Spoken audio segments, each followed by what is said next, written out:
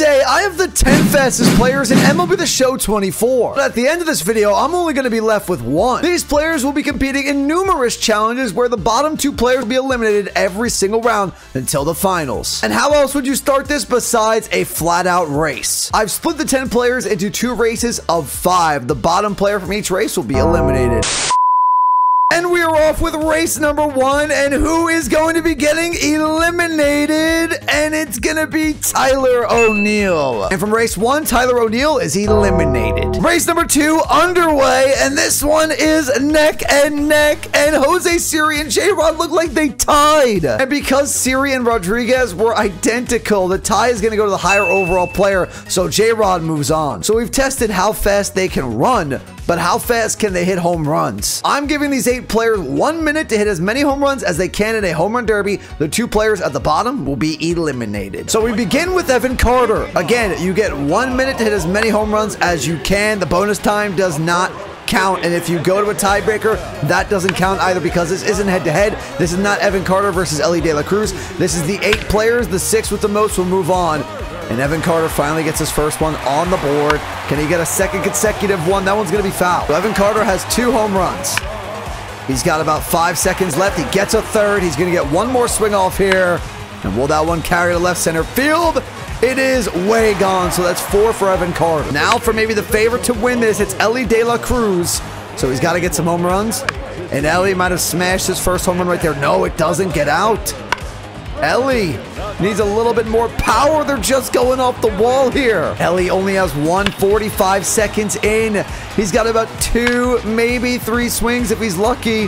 This is probably the last one. Needs it to get out, and it will get out, but only two home runs is not good. Now for Jorge Mateo. He's taking a pitch. He's actually smashed one home run already. Just need to get past two to at least clear Elly De La Cruz here. You get past two, all you have to do is survive one more player and you're good. And there's two for Mateo. One more. And Elly's going to be in a bad spot here. Is he going to get it? Mateo. It's no good. In seconds. Will the carry center field? It looks no. Last swing for Mateo. Is that going to go? It will go. He's got three. We got Jake McCarthy here of the Diamondbacks. Looks like he's going to get his first one on the board. That is 424.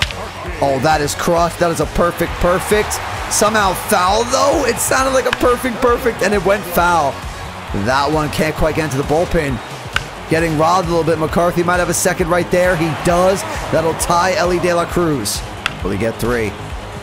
He will get three. Elly's all alone with two, and it looks like McCarthy will finish with three. Next up will be Bobby Witt Jr. This is one of the higher overall players in this whole tournament. So Bobby Witt Jr. has the power as well as the speed. So I definitely expect him to clear three home runs and clinch his spot in the next round. And he's two for two already. Can he make it three in a row and send himself to the next round? No good on that one. Will this one be it? Oh, he's got three. That's definitely three. One more and he clinches. Nothing to worry about, and that one is crushed Bobby Witt to the next round. Corbin Carroll, another one of the higher rated players in this tournament. Corbin Carroll going to take his first pitch here. Got to get past at least three. Cowher going to smash one to right field. If he gets past three, he moves on. He's got one in about 20 seconds. He finds momentum here. Swing and a miss. Carroll's got three. One more automatically moves him to the next round. Is that one going to get pushed to left field? It won't. Carroll, can he get one more? That one just gets over the wall, and he's good to go. Right now, Elly De La Cruz is on the bubble. If J-Rod is to beat two home runs, Elly automatically will be eliminated. Doesn't matter what happens with Trea Turner. And some tells me Julio Rodriguez is going to beat two home runs. A few moments later. I might have spoke too soon. J-Rod is struggling. Does he even get two? He only hit one home run. That means Julio Rodriguez is eliminated no matter what happens with Trea Turner here. And Elly can survive if Trea Turner doesn't hit at least two home runs. But Trea, left center field, smashed that one. One more to tie Elly. That one looks like it's going to go as well. Doesn't go. Can Elly really survive with one home run? With, with two home runs. There's two for Trea. I got to give him another 30 seconds. He ended up beating Julio Rodriguez, but he still has 30 seconds to beat Elly here, so I got to bring him back. Okay, Trea, you get 30 seconds here. 30 seconds to hit as many as you can.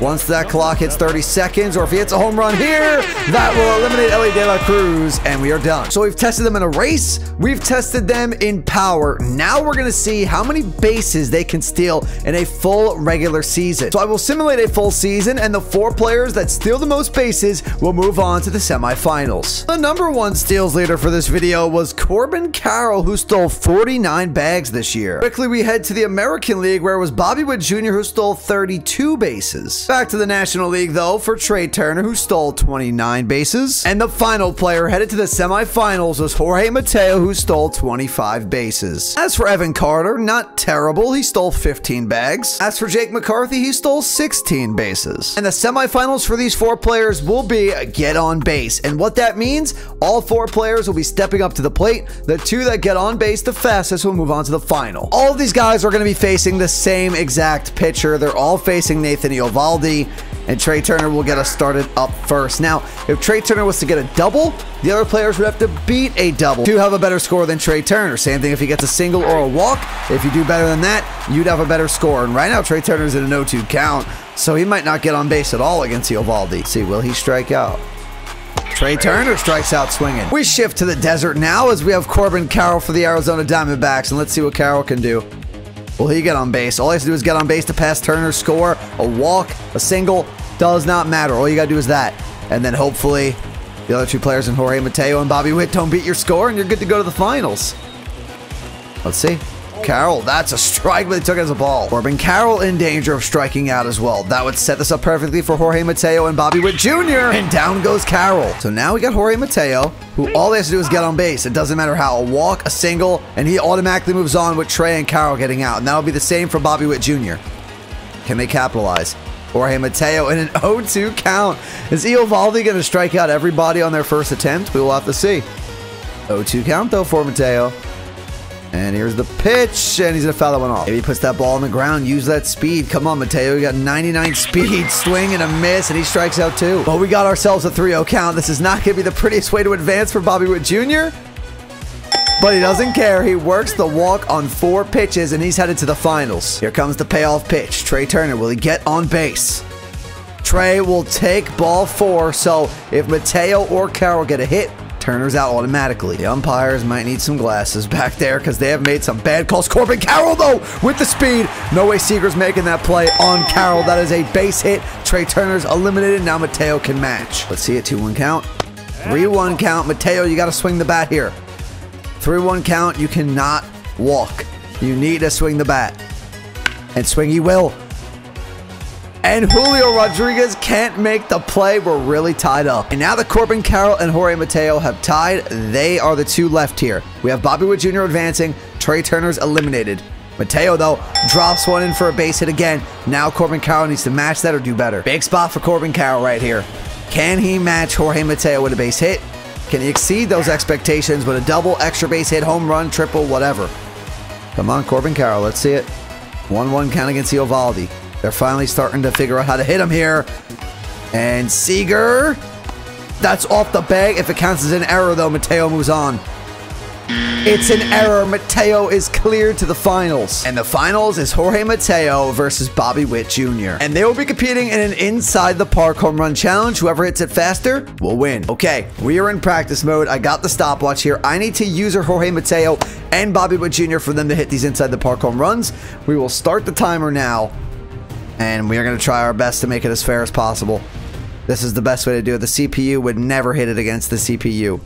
So we're going to have to try our best to hit it as fair as possible with Mateo and Bobby Witt Jr. Both facing Eovaldi, Both on beginner difficulty just to put it in the gaps. And Mateo, this is a great chance. This is a great chance. They just laid out for that baseball, did not get it. Mateo rounding third. He might have it. He might have it. 30 seconds in. Jorge Mateo. 32 seconds Bobby Witt Jr. is going to have to try to beat that time and win this thing. That was absolutely insane. By Jorge Mateo, 32 seconds. Bobby Witt Jr., that's not going to work. We're going to reset the play unless there's a chance at it. Come on. What do you have, like two or three more pitches to even do it with how slow they take? Honestly, that might be it, though. This is the best chance. This is going to be suspenseful. It is rolling all the way to the corner. Bobby Witt Jr. might beat the time. He's got 10 seconds to round third base. He did it. Bobby Witt Jr. with six seconds to spare has claimed the title as the fastest player in MLB The Show 24. That's gonna do it for the video, everyone. If you enjoyed it, do me a favor by hitting the like button and subscribing to the channel, and make sure to go check out my other channels that are in the description down below. And I'll talk to y'all in the next one. Peace.